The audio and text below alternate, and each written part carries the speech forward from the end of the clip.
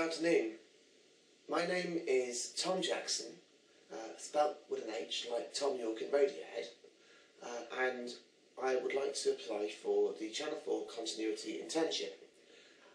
I'm trained as an actor, and I've also got um, previous experience in voice work, so I really wanted the, the chance to do go into continuity for Channel 4.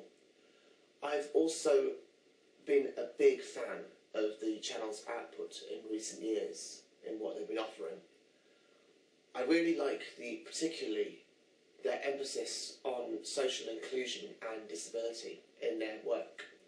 While other channels have been good by adding um, people with disabilities into their long running shows, Channel 4 is perhaps unique in the fact that it has created entire shows around disability.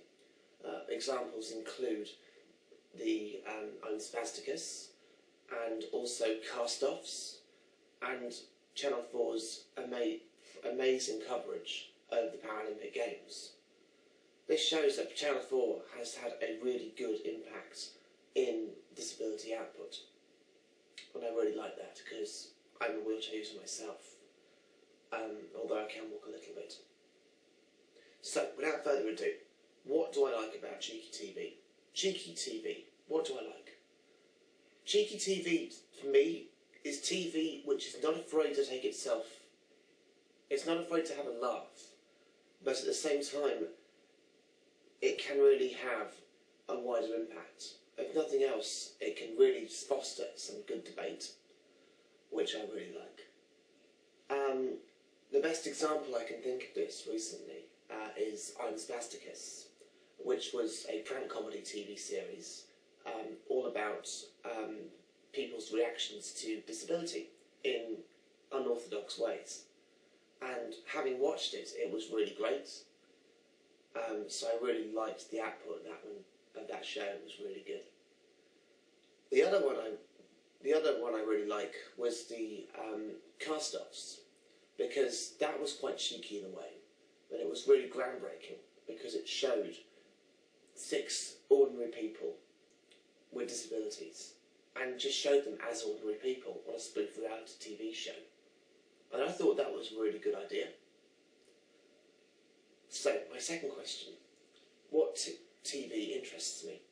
I've kind of said it already. I really like um, positive disability inclusion.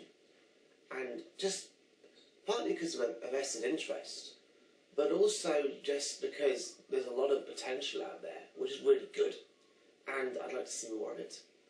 Um, the best example, again, the Paralympics was really groundbreaking in this respect, um, because it just showed people, athletes, um, who just had disabilities, but they worked just as hard as any as norm, as Olympians, and Channel 4's coverage was great because it showed the athletes as people with disabilities rather than disabled people who happen to be athletes.